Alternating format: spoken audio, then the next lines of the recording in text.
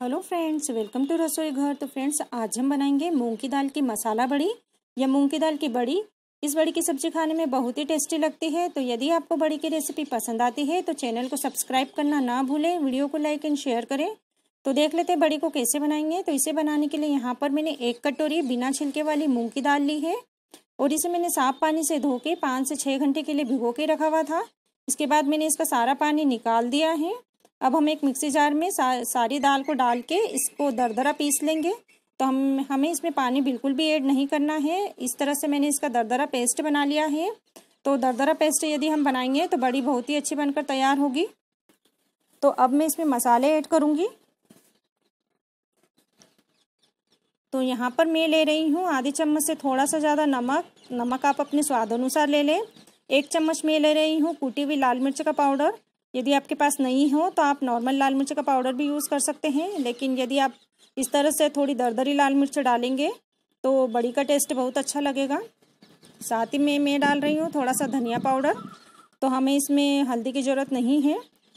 तो यदि आप इसे और मसाले वाली बनाना चाहते हैं तो आप इसमें हरी मिर्च और अदरक का पेस्ट भी डाल सकते हैं, बारीक कटी हुई धनिया पत्ती भी डाल सकते हैं।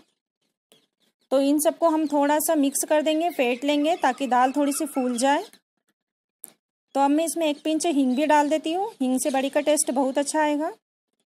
तो फिर से हम इसे अच्छे से मिक्स कर लेंगे और फेंट लेंगे हम इसे थोड़ा। तो इस तरह से करने से हमारी बड़ी बहुत ही अच्छी बनेगी।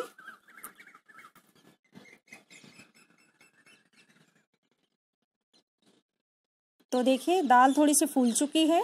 तो ये बड़ी बनाने के लिए बिल्कुल रेडी है। तो अब मैंने यहाँ पर एक पॉली बैग लिया है। तो यदि आप चाहें तो मेहंदी बनाने का कोण भी ले सकते हैं बड़ी तोड़ने के लिए। और अब मैंने एक थाली ली है। थाली को मैंने तेल लगा के पहले से ही चिकना किया हुआ है। तो ये सारी दाल मैंने इस पोली बैग में डाल दी है। तो अब हम इसका थोड़ा सा इसे कट कर लेते हैं यहाँ से।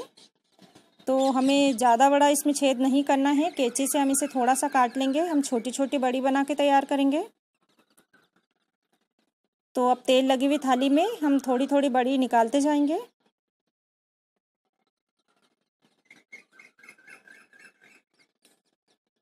तो हम साइज़ में थोड़ी छोटी ही रखेंगे तो सूखने में भी आसानी होगी और सब्ज़ी में भी अच्छी लगेगी।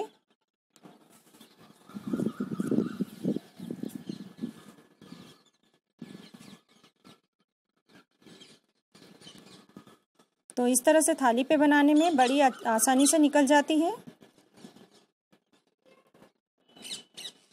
तो इसी तरह से हम सारी बड़ियाँ बना के तैयार कर लेंगे। तो फ्रेंड्स, बहुत ही आसान है इसे बनाना और इसकी सब्ज़ी खाने में बहुत ही टेस्टी लगती है। यदि आप इसकी सब्ज़ी की रेसिपी देखना चाहते हैं तो मुझे कमेंट करके बताइए। मैं बहुत ही जल्दी इसकी रेसिपी डालूँगी अपने चैनल पे।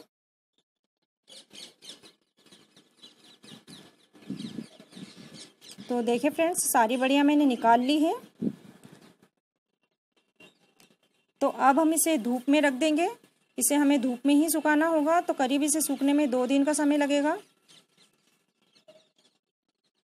तो ये देखिए फ्रेंड्स, बड़ी हमारी बहुत अच्छे से सूख चुकी है और बड़ी आसानी से निकल गई है, क्योंकि हमें, हमने इसे थाली में बनाया है और थाली में भी हमने तेल लगा के रखा हुआ था।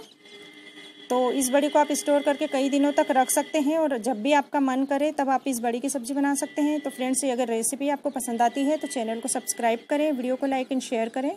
तो मिलते हैं एक नई रेसिपी के साथ।